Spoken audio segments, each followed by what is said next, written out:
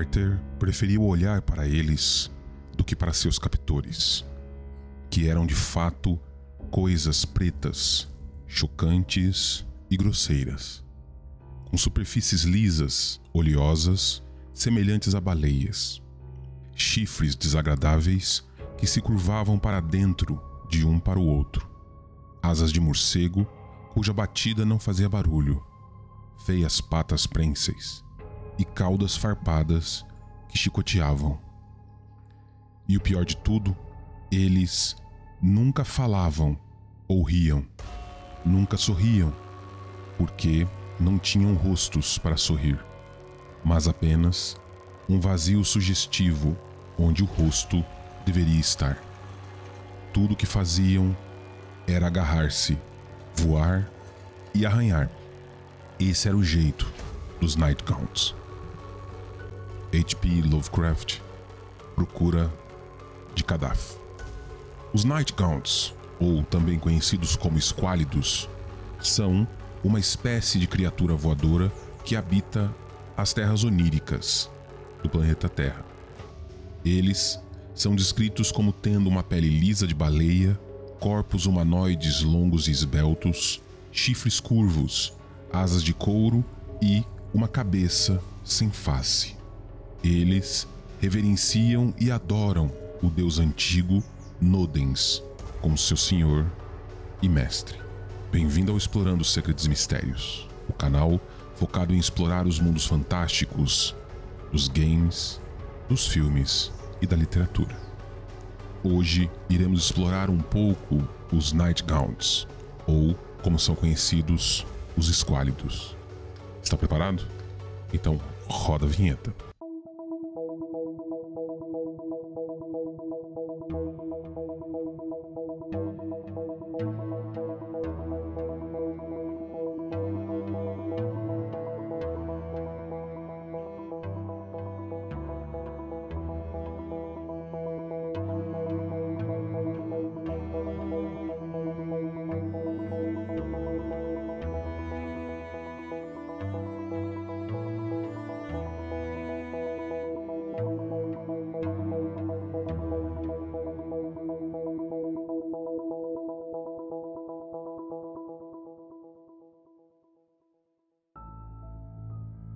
Os Nightgaunts são uma raça fictícia encontrada no Cthulhu Mitos e fazem parte principalmente do ciclo do sonho criado por H.P. Lovecraft.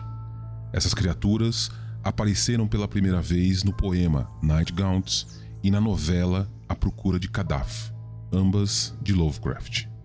Eles foram inspirados pelos pesadelos e infância do autor. Essas criaturas têm uma forma vagamente humana, mas são magros, escuros e sem rosto. Sua pele é lisa e emborrachada, e eles ostentam um par de chifres voltados para dentro de suas cabeças, uma longa cauda farpada e patas prênseis que são usadas para arranhar as suas vítimas. Eles podem voar usando esse conjunto de asas, mas mesmo assim não fazem nenhum som.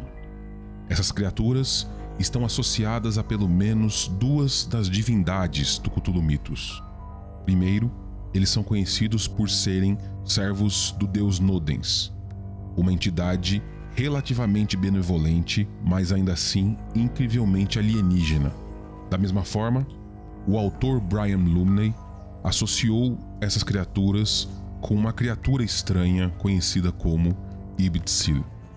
Os Nightgaunts guardam uma região conhecida como Engranek, uma montanha infame na ilha de Oriab, nas terras oníricas.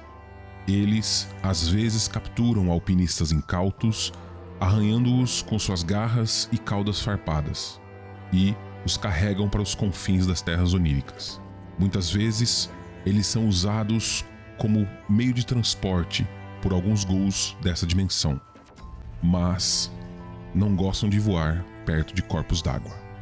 O Necronomicon menciona os Nightgaunts como seres que muitas vezes são convocados por feiticeiros, quase como se agissem como familiares. Contudo, eles não são apenas meros consortes ou escravos daqueles que os convocam. Muitos feiticeiros já cometeram o erro fatal de acreditar que o Nightgaunt era seu servo. E nem mesmo o famoso Livro dos Mortos fornece um ritual para dominar e compilir completamente essas criaturas. Não obstante, é sabido que poderosas bruxas já conseguiram comandar não apenas um, mas hostes inteiras desses horrores voadores. Em que circunstância tal coisa aconteceu, ainda permanece um mistério. Além do Necronomicon, outros livros proibidos também dedicam algumas páginas à natureza dos Nightgaunts. Todos eles são unânimes em reconhecer que esses seres seguem principalmente o deus Nodens, o senhor do grande abismo na região dos sonhos. No entanto, nenhum desses livros consegue determinar o porquê. O ritual de invocação de uma criatura dessa só pode ser realizado à noite, de preferência num lugar onde a escuridão predominante esteja presente. Lá, o feiticeiro precisa ter uma pedra no qual foi consagrado o símbolo ancestral dos grandes antigos. E assim, seguindo um ritual complexo escrito no Necronomicon, ele poderá convocar uma dessas criaturas para o mundo desperto. Depois de finalizado o ritual, os feiticeiros deverão dar uma ordem para a criatura, para que este possa realizar, seja esta carregá-los para grandes distâncias ou mesmo atacar um inimigo. Uma vez que esse ritual não compele a criatura à servitude, esta pode se negar a desempenhar a função esperada e simplesmente partir. Em alguns casos, ele pode também decidir atacar o feiticeiro que o trouxe da dimensão dos sonhos. A aparência medonha dos Nightgaunts lembra muito os mitos dos seres demoníacos e dos horrores diabólicos presentes em várias religiões. Por isso, não é raro que essas criaturas sejam tratadas como seres provenientes do inferno e, muitas vezes, vistas como inimigos da humanidade. Estudiosos assumem que os Nightgaunts se incomodam pela luz do sol, que, em teoria, os deixa cegos. Na verdade, a luz do sol incomoda a pele da criatura, que não está adaptada à exposição direta do espectro ultravioleta. Via de regra, expor a criatura ao sol não resulta em nada além dela ficar mais irritada. Incrivelmente enigmáticos, não se sabe praticamente nada a respeito dessas criaturas, especialmente o que eles comem ou bebem. Eles costumam viver em grupos, sempre voando em determinadas regiões das terras oníricas.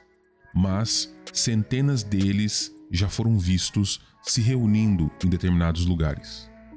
É possível que eles tenham desenvolvido um tipo de comunicação telepática ou através de feromônios capturados pela pele, visto que não conseguem transmitir informações de som ou imagem entre eles.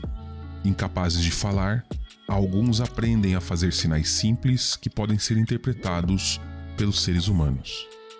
Essas criaturas compõem um dos seres mais interessantes que habitam a Terra dos Sonhos do Cthulhu Mitos e que servem o deus do abismo Nodens.